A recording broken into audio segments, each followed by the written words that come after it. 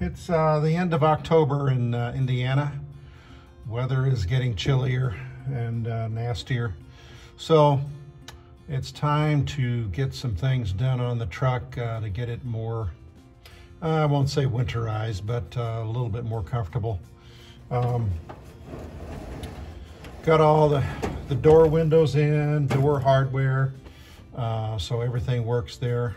Um, uh, let's see, I was, I started to get the um, heater going, but uh, have uh, had some trouble getting the plug out of the head um, where uh, one of the heater hoses connects to. So I decided to stop on that um, uh, to exert any more force on it. It's going to be um, a major deal.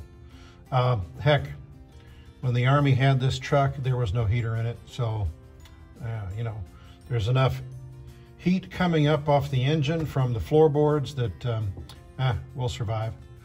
Uh, the wipers, um, there again, started that project, but um, got them kind of working. We're, we're not quite there yet, but uh, ran the vacuum line for it.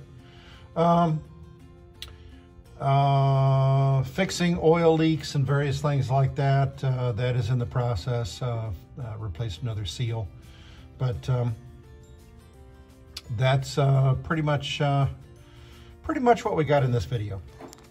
Whenever you do little modifications like putting in a steel glove box, uh, you might have to modify other things.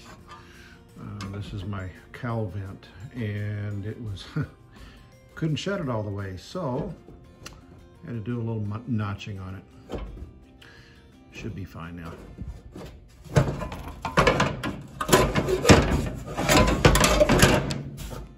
Closed there. Got new inner door panels uh, got to one side painted gonna paint both sides uh, this primer and then um, the uh, side facing in is going to be black because these are uh, two-wheel drive doors specifically the WF32 long story on that. These have to come out for those. I got around to changing the door handle on the passenger side. This is the correct stainless steel. It looks tons better. This is the old two-wheel drive uh, WF32 handle, uh, just destroyed. But uh, yeah, this looks much better. Works great. So it's time to get the window glass and the doors.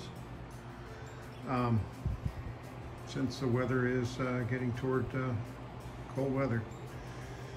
So Get the regulator mechanism back in and um, get the glass in there. Uh, spritz up some of this. Um, and get my panels on.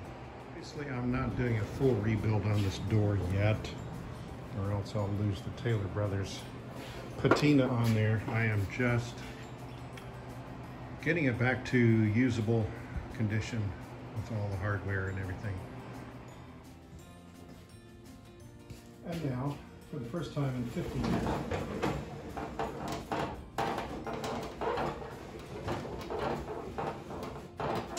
voila. So here's my finished door scheme. Uh, these are correct stainless steel for Power Wagon. These are the old hardware from the two-wheel drive version. And it's it doesn't look too bad, but uh, it's gonna have to stay there uh, until I want to spring for purchasing the correct ones. Everything works fine. Oh, and as far as installing the glass, uh, I already did a video on that and uh, the link will be in the description. So one thing I'm doing is uh, replacing seals as needed. Uh, the front seal on the uh, transfer case It's leaking like a sieve. I was just amazed at the uh, total inconsistency of the uh, torque on these. That was like zero foot-pounds. The one on the back that I struggled with had to be 150 or something. This is like nothing. Good thing it had a cotter pin in it. Got a new seal in, speedy sleeve, and nut correctly torqued to 11 billion foot-pounds. Okay, here is the vacuum takeoff hose that it feeds all the way up here inside, inside the body.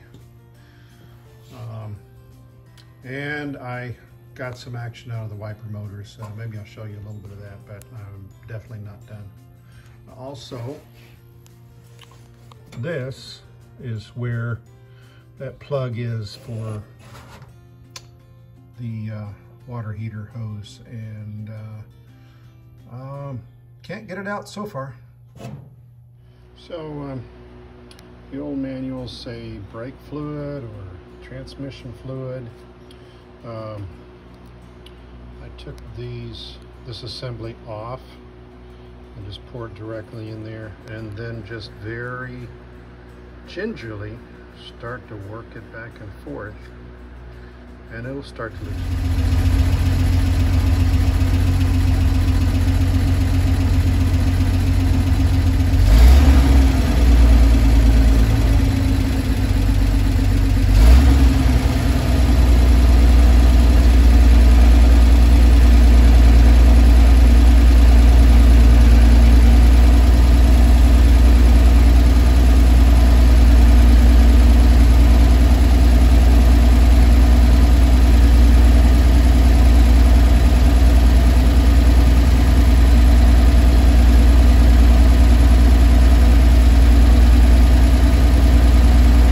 hoping that this is going to uh,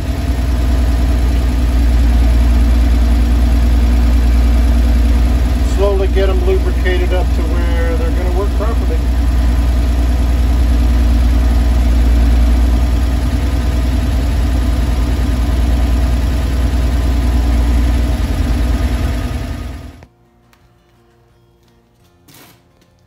So this came out of the uh, Dodge Power Wagon.